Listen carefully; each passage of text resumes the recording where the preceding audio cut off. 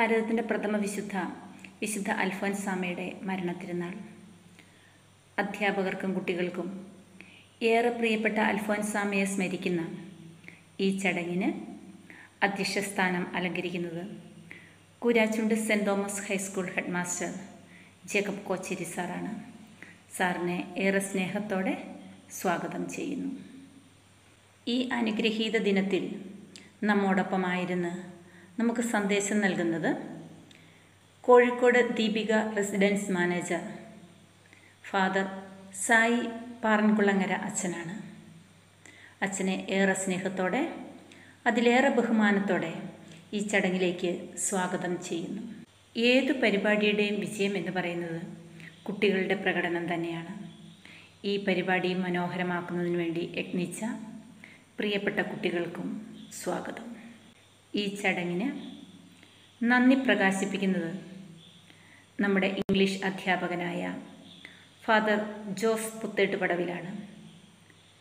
പ്രിയപ്പെട്ട ജോസച്ചിനെയും സ്നേഹത്തോടെ സ്വാഗതം ചെയ്യുന്നു.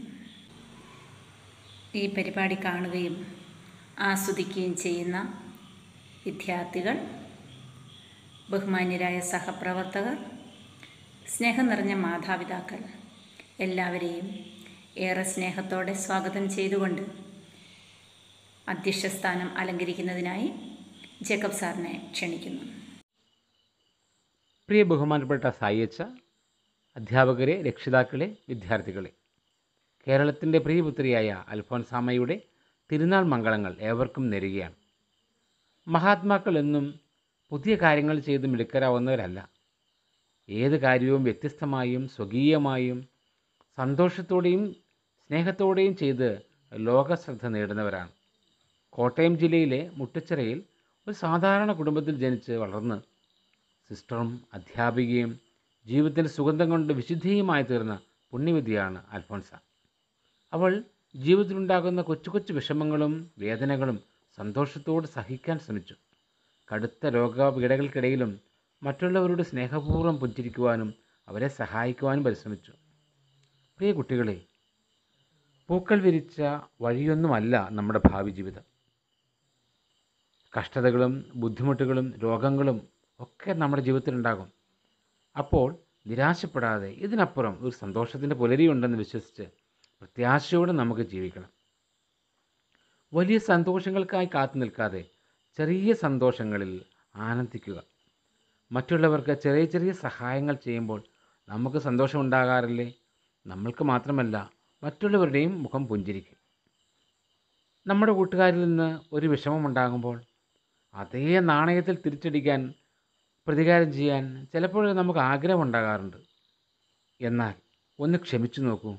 അത് വലിയ അത്ഭുതങ്ങൾ കാണിക്കും. മഹാത്മാഗാന്ധി മദർ തെരേസ സ്വാമി വിവേകാനന്ദൻ തുടങ്ങിയ മഹാന്മാരെല്ലാം മഹത്തുക്കളെല്ലാം ക്ഷമയുടെയും സ്നേഹത്തിന്റെയും അത്ഭുതങ്ങൾ ലോകത്ത് കാണിച്ചു കൊടുത്തവരായിരുന്നു. നമുക്കും ക്ഷമ പരസ്നേഹം പരസഹായം തുടങ്ങിയ മൂല്യങ്ങളിൽ വളരാം. അത് ഒരു തിരുവട്ടമാകുമ്പോൾ ചുറ്റുമെങ്ങും പ്രകാശം വരുത്താൻ നമുക്ക് കഴിയും. ഈ ദിനത്തിന്റെ ചൈതന്യവും മംഗളങ്ങളും നിങ്ങൾക്ക് ഏവർക്കും ഒരിക്കൽ കൂടി നേർന്നുകൊണ്ട് ഞാൻ ഉപസംഗ്രഹിക്കുന്നു.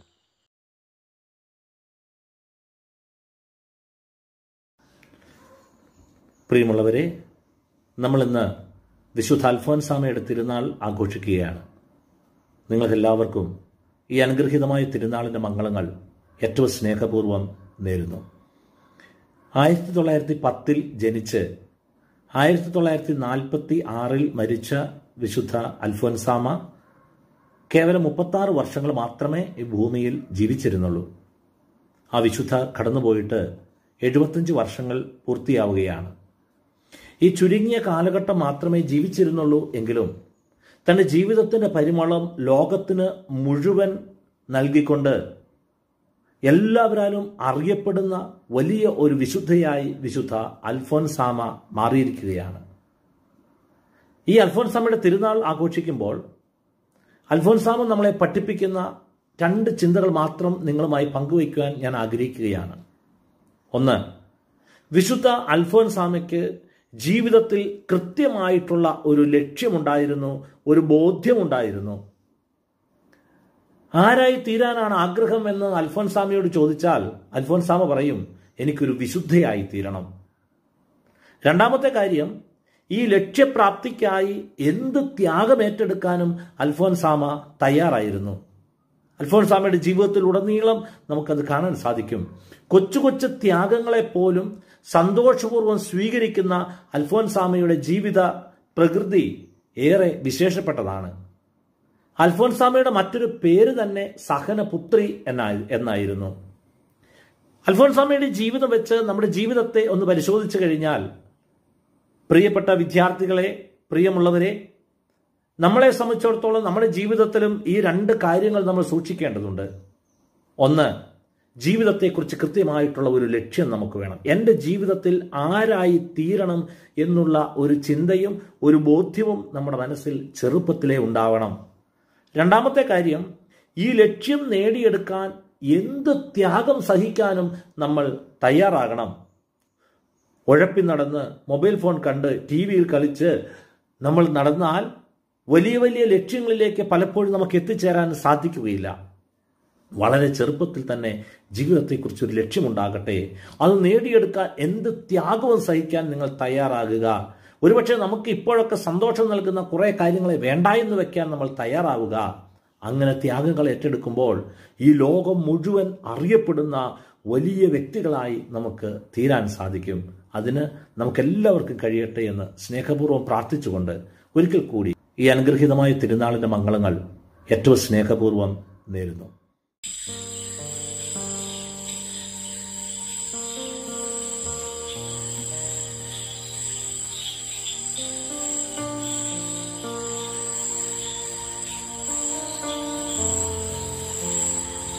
എന്റെ ഈശോയെ ഞാൻ അങ്ങേ സ്നേഹിക്കുന്നു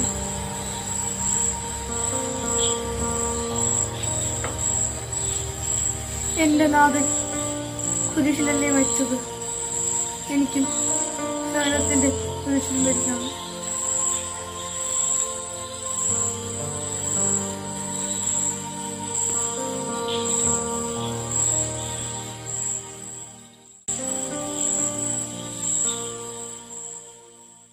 ചങ്ങനാശ്ശേരി അതിരൂപതയിലെ കുടമാളൂർ ഇടവകയിൽ മുട്ടത്തുപാടത്ത് പാഴൂപ്പറമ്പിൽ ജോസഫിന്റെയും മേരിയുടെയും നാലാമത്തെ മകളായി ആയിരത്തി തൊള്ളായിരത്തി പത്ത് ഓഗസ്റ്റ് പത്തൊമ്പതാം തീയതി സിസ്റ്റർ അൽഫോൻസ ജനിച്ചു. വല്യപ്പച്ചന്റെ ബന്ധുവായ കുഞ്ചുറോയും ഭാര്യ അന്നമ്മയും തലതൊട്ടപ്പനും തലതൊട്ടമ്മയുമായി. ഒമ്പതാം ദിവസം ഇടവക വികാരി ചക്കാലയ്ക്കൽ ഔസേപ്പ് കത്തനാരിൽ നിന്നും മാമോദീസ സ്വീകരിച്ചു. മാമോദീസയിലൂടെ അന്ന എന്ന പേര് സ്വീകരിച്ച അൽഫോൻസ അന്നക്കുട്ടി എന്ന ഓമന പേരിൽ അറിയപ്പെട്ടു. അന്നക്കുട്ടിക്ക് ഇരുപത്തിയൊമ്പത് ദിവസം പ്രായമായപ്പോൾ അമ്മ മരണത്തിന് കീഴടങ്ങി. വിദ്യാലയത്തിൽ ചേർക്കാൻ പ്രായമായപ്പോൾ പേരപ്പൻ തൊണ്ണൻകുഴി ഗവൺമെന്റ് എൽ പി സ്കൂളിൽ ചേർത്തു. ലക്ഷ്മിക്കുട്ടിയായിരുന്നു അന്നക്കുട്ടിയുടെ സഹപാഠി. ചെറുപ്പത്തിലെ ക്ഷമയുടെ പാഠം ഉൾക്കൊണ്ട അന്നക്കുട്ടി ലക്ഷ്മിക്കുട്ടിയിൽ കൗതുകമുണർത്തുന്ന സ്വഭാവത്തിനുടമയായിരുന്നു. ആയിരത്തി തൊള്ളായിരത്തി പതിനേഴ് നവംബർ ഇരുപത്തിയേഴാം തീയതി കുടമാളൂർ പള്ളിയിൽ വെച്ച് പ്രഥമ ദിവ്യകാരുണ്യം സ്വീകരിച്ചു. തുടർന്ന് വിദ്യാഭ്യാസ സൗകര്യാർത്ഥം മുട്ടച്ചിറയിലെത്തിയ അന്ന പേരമ്മയുടെ സ്നേഹത്തിലും ശിക്ഷണത്തിലും വളർന്നു. ക്രൂശിതനെ മണവാട്ടിയാക്കാൻ തീരുമാനിച്ച അന്നക്കുട്ടിയുടെ അതീവ സൗന്ദര്യം പന്ത്രണ്ടാം വയസ്സിൽ നാട്ടുനടപ്പനുസരിച്ച് വിവാഹാലോചനകൾ മുറുക്കാൻ കാരണമായി. തന്റെ സൗന്ദര്യത്തിന് മങ്ങലേൽപ്പിക്കാൻ കാലുകൾ പൊള്ളിച്ച് ശരീരം വികൃതമാക്കാൻ ശ്രമിച്ചു. എതിർ എതിർപ്പുകൾ ഉണ്ടായെങ്കിലും പിന്നീട് സമ്മതം ലഭിച്ചു. അസീസിയിലെ വിശുദ്ധ ഫ്രാൻസിസിന്റെ ജീവിതം അൽഫോൻസാമയെ ഏറെ സ്വാധീനിച്ചു. ദാരിദ്ര്യവും സഹനവും മുഖമുദ്രയാക്കി കാരുണ്യത്തിലധിഷ്ഠിതമായ പ്രവർത്തന ശൈലി ആയിരത്തി തൊള്ളായിരത്തി ഇരുപത്തി എട്ട് ഓഗസ്റ്റ് രണ്ടിന് ശിരോവസ്ത്രവും ആയിരത്തി തൊള്ളായിരത്തി മുപ്പത് മെയ് പത്തൊമ്പതിന് സഭാവസ്ത്രവും സ്വീകരിച്ചു. വാഗക്കാട് പ്രൈമറി സ്കൂളിൽ അധ്യാപികയായിരുന്ന അന്നക്കുട്ടി രോഗബാധിത ആയതിനാൽ ഏറെക്കാലം അവിടെ ജോലി ചെയ്യാനായില്ല. നോംഷെറ്റ് കാലം അൽഫോൻസാമ്മ ചെലവഴിച്ചത് എഫ് സി സിയുടെ മദർ ഹൗസിൽ ആയിരുന്നു. വേദനയുടെ പാര്യമ്യത്തിലൂടെ നോംഷെറ്റ് കാലം കടന്നുപോയി. കുട്ടികളെ ഏറെ സ്നേഹിച്ച അൽഫോൻസാമ അവർക്കു വേണ്ടി പ്രാർത്ഥിക്കുകയും അവരെ പ്രാർത്ഥിക്കാൻ പഠിപ്പിക്കുകയും ചെയ്തു. സഹനം സ്നേഹമായി കണ്ട അൽഫോൻസാമ ആയിരത്തി തൊള്ളായിരത്തി നാൽപ്പത്തിയാറ് ജൂലൈ ഇരുപത്തിയെട്ടിന് മരണമടഞ്ഞു. അമ്മയെ സ്നേഹിച്ച കുട്ടികൾ തന്നെ ആ കുഴിമാടത്തിൽ ആദ്യം പ്രാർത്ഥനയ്ക്കായി എത്തി. അവരുടെ ചെറിയ ചെറിയ ആവശ്യങ്ങൾ സാധിച്ചു കിട്ടി. പലർക്കും രോഗശാന്തി ലഭിച്ചു. ജനിച്ചപ്പോൾ തന്നെ രണ്ടു കാലുകളും വളഞ്ഞ് നിരങ്ങി നീങ്ങിയിരുന്ന ജെനിൽ എന്ന കുട്ടിയെ ഓപ്പറേഷൻ കൂടാതെ അൽഫോൻസാമയുടെ കബറിടത്തിൽ കിടത്തി കണ്ണുനീരോടെ പ്രാർത്ഥിച്ചതിന്റെ ഫലമായി കുട്ടി സന്ധ്യാപ്രാർത്ഥനാ സമയ സമയത്ത് എഴുന്നേറ്റു നടന്നു എന്നത് ഏറെ അത്ഭുതാവഹമാണ്. പരിശുദ്ധ ജോൺ പോൾ രണ്ടാമൻ മാർപ്പാപ്പ വാഴ്ത്തപ്പെട്ടവളായി പ്രഖ്യാപിച്ച അൽഫോൻസാമയെ രണ്ടായിരത്തി ഏഴ് ഒക്ടോബർ പന്ത്രണ്ടിന് ബെനഡിക്റ്റ് പതിനാറാമൻ മാർപ്പാപ്പ വിശുദ്ധയായി പ്രഖ്യാപിച്ചു. വിശുദ്ധ അൽഫാൻസമയോട് നമുക്കും പ്രാർത്ഥിക്കാം. വിശുദ്ധ അൽഫോൻസാമയെ ഞങ്ങൾക്ക് വേണ്ടി അപേക്ഷിക്കണമേ.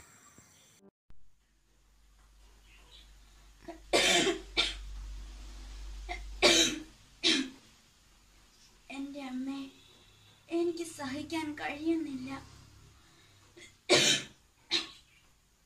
ചില പക്ഷികൾ വേഗം പറന്നു വരും. ചില പക്ഷികൾ ചിറകടിക്കുന്ന ശബ്ദം പോലും കേൾക്കുകയില്ല. ഞാനും അതുപോലെ ഒരു നാൾ പറന്നു പോകും. എന്റെ ബലി പൂർത്തിയായതിനു ശേഷം ഞാൻ ഈശോയുടെ അഴുകിലേക്ക് ഓടിച്ചെന്ന് കെട്ടിപ്പിടിച്ചിരിക്കും.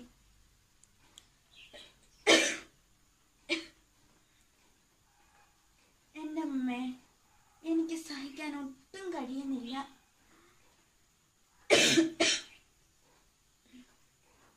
ഈശോ എന്ന തിരുനാമം ഉച്ചരിക്കുന്നത് എന്റെ നാവിന് ഏറെ മധുരമാണ്. കുടമാളൂരിൽ തളിർത്ത വല്ലരിയേ മുത്തുച്ചിറയിൽ വളർന്ന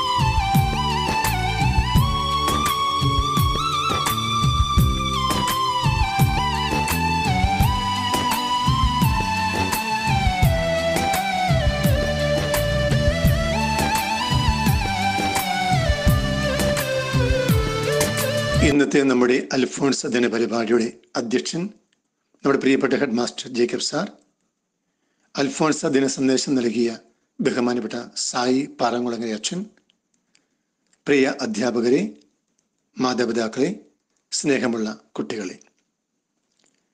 ജൂലൈ ഇരുപത്തിയെട്ട് വിശുദ്ധ അൽഫോൻസ ദിനം. നമ്മുടെ കൊച്ചു കേരളത്തിൽ ജനിച്ച് ജീവിച്ച് വിശുദ്ധിയുടെ പടവുകൾ കയറിയ വിശുദ്ധ അൽഫോൻസാമയെ അനുസ്മരിക്കുന്ന ദിനം. വിശുദ്ധ അൽഫോൻസാമയുടെ ജീവിതം ഒരു സ്നേഹബലിയായിരുന്നു. തന്റെയും മറ്റുള്ളവരുടെയും വിശുദ്ധീകരണത്തിനായി സഹനങ്ങളെ ഏറ്റെടുത്ത് തന്റെ ജീവിതത്തിന്റെ എല്ലാ അവസ്ഥകളിലും പൂർണ സമർപ്പണത്തിന്റെ മഹനീയ മാതൃയാകാൻ വിശുദ്ധിക്ക് കഴിഞ്ഞു. സഹനദാസി അൽഫോൺസാമ വിശുദ്ധിയുടെ പടവുകൾ കയറിയത് അസാധാരണ കാര്യങ്ങളിലൂടെയല്ല. മറിച്ച് സാധാരണ കാര്യങ്ങൾ അസാധാരണമായി ചെയ്തതിലൂടെയാണ്. കോവിഡ് പത്തൊൻപത് എന്ന മഹാവിപത്ത് ഈ ലോകമെമ്പാടും നാശം വിധിച്ചുകൊണ്ടിരിക്കുകയാണ് പല ജീവിതങ്ങളെയും അവസാനിപ്പിച്ചുകൊണ്ടാണ് ഈ മഹാമാരി കടന്നുപോയിക്കൊണ്ടിരിക്കുന്നത്. ഇന്നലകളിലേക്ക് തിരിഞ്ഞു നോക്കുമ്പോൾ സന്തോഷത്തോടെയും സുരക്ഷിതത്വത്തോടെയും ജീവിച്ചിരുന്നവർ പലരും ഇന്ന് വേദനകളുടെയും അരക്ഷിതാവസ്ഥയുടെയും കയങ്ങളിലേക്ക് താണുപോയിക്കൊണ്ടിരിക്കുന്നു. സഹനത്തിന്റെയും വ്യാകുലതയുടെയും അരിഷിതാവസ്ഥയുടെയും വഴികൾ ഏത് നിമിഷവും ജീവിതത്തിൽ സംഭവിക്കാം എന്ന യാഥാർത്ഥ്യം മനുഷ്യ മനസ്സുകൾക്ക് ബോധ്യമായി. ഇന്നത്തെ സാഹചര്യത്തിൽ സഹനങ്ങളെ എങ്ങനെ നേരിടാം എന്ന വലിയ പാഠമാണ് സഹനപുത്രി അൽഫോൺസമ്മയുടെ ജീവിതത്തിൽ നിന്നും നാം പഠിക്കേണ്ടത്. സന്തോഷങ്ങൾ മാത്രമല്ല സഹനങ്ങളും ദുഃഖങ്ങളും ജീവിതത്തിനെ മാറ്റി വർദ്ധിപ്പിക്കും എന്ന ബോധ്യം ഈ ദുരിതകാലത്തും നമ്മുടെ ജീവിതത്തെ നയിക്കാൻ വിശുദ്ധ അമ്മ സഹായിക്കട്ടെ. ഇന്നത്തെ ഈ ചടങ്ങിൽ അധ്യക്ഷപദം അലങ്കരിച്ച് സന്ദേശം നൽകിയ നമ്മുടെ സ്കൂളിന്റെ നെടും തൂണായ പ്രിയപ്പെട്ട ഹെഡ് മാസ്റ്റർ ജേക്കബ് സാറിന് സ്കൂളിന്റെ പേരുള്ള നന്ദി അറിയിക്കുന്നു.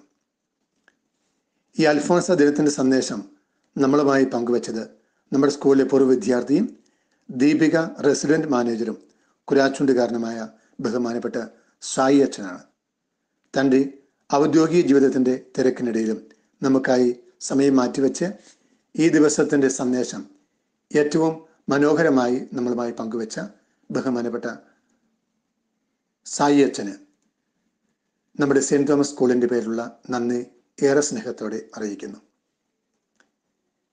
ഈ പ്രോഗ്രാം കൂടുതൽ ആകർഷകമാക്കാനായി വിവിധ പരിപാടികൾ അവതരിപ്പിച്ച ഓരോ വിദ്യാർത്ഥികൾക്കും ഇതിന്റെ പിന്നിൽ അധ്വാനിച്ച അധ്യാപകർക്കും ഈ പ്രോഗ്രാം കണ്ട് ആസ്വദിച്ച രക്ഷിതാക്കൾക്കും പ്രിയപ്പെട്ട കുഞ്ഞുങ്ങൾക്ക് ഓരോരുത്തർക്കും നന്ദി പറഞ്ഞുകൊണ്ട് നിർത്തുന്നു. നന്ദി.